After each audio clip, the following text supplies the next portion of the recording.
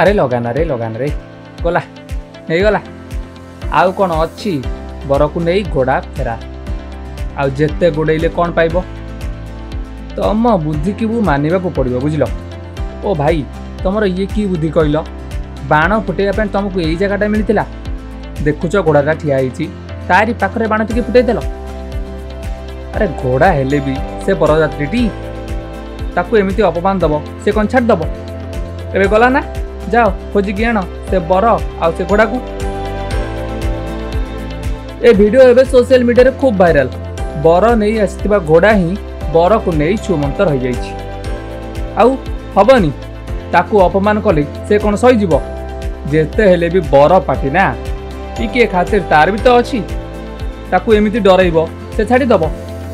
ଗଲା ତା ଆଗରେ ବାଣ ଫୁଟେଇ ତାକୁ ଡରଉଥିଲ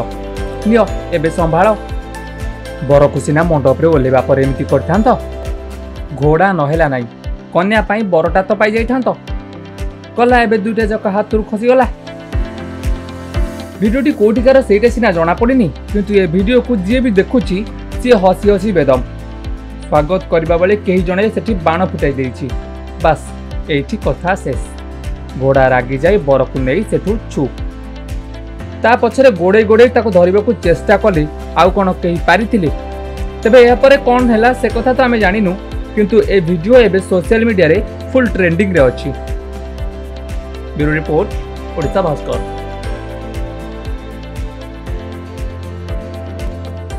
जिंदगी ने फिर से जिंदगी से मिला